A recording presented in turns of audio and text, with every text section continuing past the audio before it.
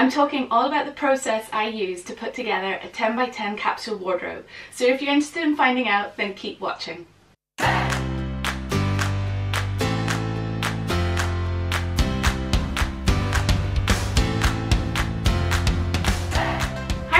And welcome back to the vlog. This is Susie from Threadquarters. Thanks for joining me again today. First of all, I wanted to say thank you so much to everyone that has entered the giveaway that was in my last vlog. Um, if you don't know what I'm talking about, in my last vlog I am holding a giveaway. It's still open at the moment to win a set of this Ultimate Presser Foot set, it's called, from Madam Sew. If you want to be in a chance for winning, it's open internationally. There's a link down below to that vlog. You have to go to that one and um, enter in the comments below. So if you're interested, then head on down to that. But first of all, watch this vlog. So I'm sure all of you guys know that it is Me Made May and um, if you don't know what that is, I'll put a link down below to um, Sozo's blog and um, she there's information there all about it.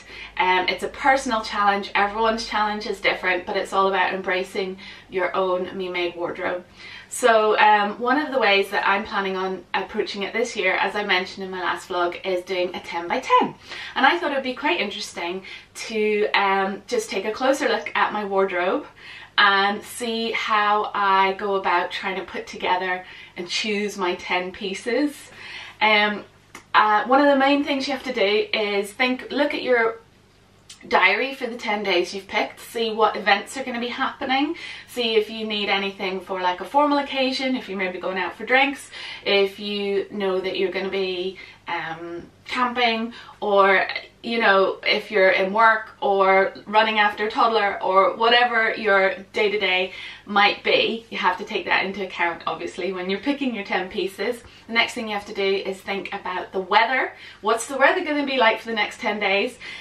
It's pretty changeable with us at the moment um, so that is something that makes it a bit tricky for me at, for this particular version um, also you know you can look at the forecast for the next 10 days but it's never going to be 100% accurate so you just got to bear that in mind as well when you're picking your pieces and then I think the other thing you have to really do is sort of pick a colour story. Um, if you want your pieces to work the hardest um, that they possibly can, you really want them all to be, um, to mix and match well together. Otherwise, you know, you maybe will end up with one piece that just does not meld well with the others that you've chosen. So and and it's just a wasted opportunity for um, different outfit combinations. So that's something else to bear in mind. So I thought let's head on over to my wardrobe now and see what I can come up with because I haven't picked them yet. So let's see what I can come up with. Welcome to my wardrobe. This is pretty much it actually. I've got this hanging space and then I've got a couple of drawers down below. Um is that it? And there's some stuff in the wash, um, not a lot. And there might be a few things up in the roof space that are like for proper winter and I've popped them away. Um, but this is pretty much it actually. Um, so let's see what I can put together for this Me Made May. So um, one of the things that's calling out to me right now is this skirt here. Um, I made this last year, um, I had vlogged about it, but I haven't worn it yet because I finished it off sort of in autumn time and I just felt it was so springy um, that I have sort of been waiting for spring to come to be able to wear it. So that's a possibility. But in terms of what I would wear with it, yes. So I have this um, top here. Again, I made it, sort of finished it off at the same time. I had it in a finished UFOs um, vlog from last year. Um, and it's I had it in a drawer over there actually because I finished it, but actually I'm not happy with it. It's just a little bit too big for me and it's in a drawer to say I need to address that, I need to fix that. That might be something I do during the Me Made May. Um, we'll see, I've got so many things I want to get done. But yeah, that would be good. And maybe I will do that for um, later on in May. So I'll maybe put these back because I do need to, to take this in a little bit. Um, so yeah, so so that was an idea I was having, but so that's sort of part of the process. I'm like, no, let's maybe have this for later in May. I might do another 10 by 10 and um, I'll include that in that one instead. One of the things I want to do with Me Made May is to not always live in um, jeans and a Mandy because that's pretty much my uniform these days. So I want to include a um, skirt in this 10 by 10. So I'm not doing that one and this, these are my skirts here. I don't have very many actually. I love this one. Yeah, yeah, this one will be perfect. This is an denim Erin skirt, so over an Erin skirt. So I will just for now hang that up here. Yeah, definitely gonna do that. So let's think about what looks nice with this um, top. This one, I love this together. This is a Cali, but it's a cropped one. It works well with the Erin because um, it's sort of right at my waist. I'll pop that up there for now because I do like that shirt. It's really great. Um, sticking with bottoms, actually, let's pick a bottom to go with that. I've got some in the drawer down here, which I know you can't see. Um, I don't really have very many. Um, black jeans and, oh, these. I do have these. These are sort of like a burgundy uh, skinny jeans. They're ready to wear. They're not um, me made, but I'm not all my wardrobe is me made, so I don't think my 10 by 10 should all be me made as well. Um, I'm going to try and make the majority of my pieces me made, but there's going to be um, ready to wear in there as well, and I'm totally fine with that. So yeah, I think this will be, these will be good ones to go with. so I'm going to put that up there, but now that I've got that one up there, I'm looking at my Cali and I know without even trying them on that this is not nice to wear with this because this is sort of more of a, a low rise. It's not totally low rise, but um, it's too, it's low enough that there's a bit of a too much of a chance of flashing my belly if I'm wearing this shirt with those trousers. So I'm going to pop this shirt back in and we'll, we'll think about something else instead. So I've got my burgundy and my blue. So I'm thinking maybe that could be my color story for this 10 by 10. So thinking about that, I need some tops. Um, let's check out my Mandy's. That's in this section here. Is it? Where are they? Oh, there they are. so, um, and I'm wearing one right now. Um, so I've got this is a cute one with pink and blue in it. Actually, that's really nice. I don't wear that very often. This one I really like, but it's it's a polyester mix and it makes not doesn't I can't it doesn't let my body breathe very well. I was trying to find a nice way of saying that, but that would actually go. It's got the pink that looks nice with the burgundy and the blue stripe in it. Maybe I should give it another chance and see whether I like wearing it or not because that's part of the Me Made, Pro, Me Made May ethos is to sort of use use things that you don't wear very often. The other option is, no, that's grey and red, that wouldn't look good. This one, this blue one here would be nice too, wouldn't it? Um, oh, I just love it. Right, for this, for this 10 by 10, I think I'm going to go with this one. I know that looks really nice. Um, it's got a high-low hem. I'm going to be doing that in a tutorial coming up soon about how to do the high-low and the split hem on the Mandy. So watch out for that. But anyway, yeah, I'm going to put that one up, I think. Maybe I will bring this one out for um, another 10 by 10 or just later, later on in the month. Um, so I've got a nice blue one there. Let's see. Oh, this top here. This is one of my gables with a lovely floral design. That's very pink, but that looks really nice with my burgundy jeans and it would look really cute with the Erin skirt too. So let's pop that one up there as well. Definitely that. Um, so let me see, I've got two tops and two bottoms right now. So I'm only on four and I can have 10. I'm probably gonna leave myself two spots for shoes um, I'm thinking like a casual, like a casual shoe and a slightly dressier shoe maybe. I'm not sure, I haven't looked at them yet, but that's sort of what I was thinking. That would sort of cover most bases. So, uh, let me see.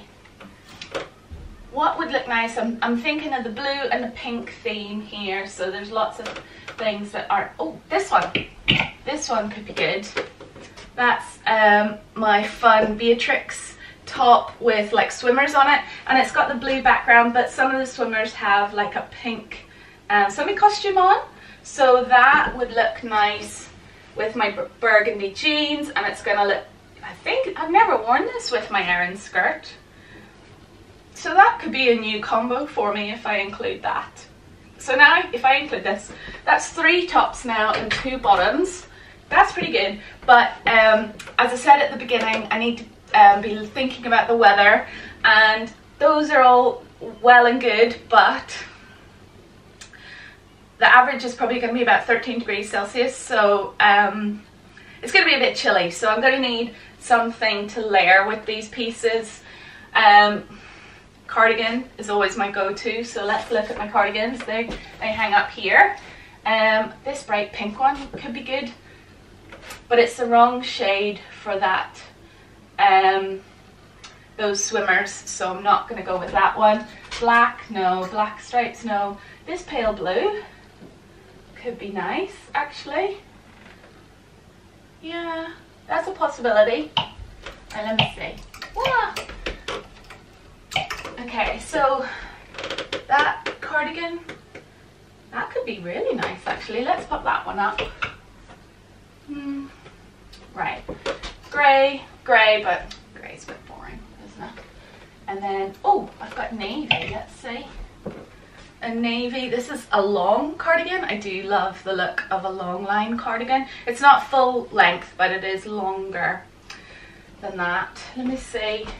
You probably can't see much of what I'm doing here, but yes. That looks really good, actually. Oh, yeah, look at that. Um, yeah, so I'm deciding between these two because I don't need two cardigans. I think that would take up too much space. Valuable um, slots in my 10 by 10. So um, this is sort of one of the processes. It's just making sure everything sort of would work together, essentially. I think that this cardigan and that, I think that's a bit too samey and I'm thinking that I like the contrast of the darker navy with this. Yeah, so I think I'm going to go with this one. And I just, I like the look of the long line better. This one has sort of like a, a hemband around here that gives it a little bit of a gathering at the bottom I'm not so keen on. All these cardigans are ready to wear, by the way. So yeah, let's go long line and we'll put the short one back. For now, okay, so how many pieces have I got now? One, two, three, four, five, six. I've got six, okay, six. And I could go up to eight because of um, two, two places for shoes. I'm not including coats in my um, 10 by 10 because I just find that too restrictive. So shoes and um, day-to-day -day clothes. Um, so I think I'm to need like something a bit warmer if it does get chilly. I need like a jumper of some kind. So I don't really have jumpers hanging up here. Um, oh, I've got this one. This one could work. This is a navy. It's just ready to wear. Um, that is a very nice one. Uh, but I would like it to be a, um, me made actually to be honest. Um, so I've got some jumpers down here. Uh, most of them you can't see it sorry but most of them are greys and blacks. Oh I have this one. Yeah this one maybe. This is my hemlock hack with the cowl neck. It's in sort of a, a medium weight um, knit fabric so it's a good sort of transitional jumper. And it's the blue yeah this one would be good okay definitely this so let me check how many pieces I've definitely got here see if I can count properly. One, two, three, four, five, six, seven. Right, okay, yeah. I think a dress would be good to include in a 10 by 10 um, just to mix it up, have a different silhouette, something a bit different going on. Um, I've got a few here. These are a bit dressy. This is this is, would be nice. You can sort of see it's blue, but I don't see how it would fit in with those ones, to be honest. Um, and it's a bit thin. I think I'd be a bit cold in that. Those are dressy. I love this one. It's inside out, sorry, but it's stripy here. Black and white stripes and red. I do really want to wear this because I haven't worn it in ages and it's starting to come to the season where I like wearing it. But it's just not going to go with my colour story. So maybe for a different 10 by 10, maybe I'll do like a red, white and black colour story for one of my 10 by 10s. Hmm, so, okay, I have to remember that one. Um, another dress that I love wearing, but it's black and white, so I'm not going for that one. Oh, this one. This is a ready to wear from Next, um, a shirt dress. It's not buttoned at the moment. It's short sleeves, it's linen, um, that sort of length. But it's that burgundy colour, so um, it would fit in well, I think. And, you know, maybe I can wear it open as like a long jacket or um, just wear it as a dress in itself. So I think I'll include this one. And that brings me up to my eight. And then I need shoes. Okay, so I'm coming in a bit close here. Hope it's not too scary. Um, so yes, I'm thinking with my blue and pink color scheme that a brown shoe would be nice. Um, and as I said, I want like a casual shoe and a dressier shoe. And when I say dressier, I would like a bit of a heel, but I don't really wear heels much, so it has to be just a very small heel. A boot of some kind. I don't have very many shoes, um, but I did recently buy a couple in the sale, so we'll see. I have some in the bottom of my wardrobe. I know some people don't like keeping their shoes in their with their clothes. It's down below, far away from the shoes, from the clothes, just saying. But I am buying a shoe storage maybe next week. So hopefully I'll be able to shift them out of here. This is just temporary measure for now. So anyway, so um, I mean, I absolutely adore those, but I don't think, I think the patterns that I've picked, it's just going to clash a bit too much. So I don't think that's appropriate. I think it's maybe going to be too warm for um, large boots. This would be ideal. That kind of heel there. And that's just a perfect, but it's black. So I wish that was in brown. So maybe that's something to take away from um, this 10 by 10 is a brown version of those would be nice. Oh, I have these. I haven't worn these yet. These were one of the ones I picked up in the sale. They're from Next. So you can see they're in like pristine condition. and I have been struggling with um, finding ways of wearing this. So this could be a good option and I love the colour. I think it would go really well. I mean, it's not exactly dressy, but it's certainly dressier than my normal, um, my normal footwear. So yeah, I think I might go for them. Yeah, they'd be good. And then I am, sorry they're a bit grubby looking. I mean, they're white trainers, so that's going to happen. But yeah, I think these would be perfect. The white will just look nice and casual. They'll take um, the skirt and make it a bit less dressy. Not that it is that dressy. Um, but that's going to go with literally everything. So they're good, a good um, basic.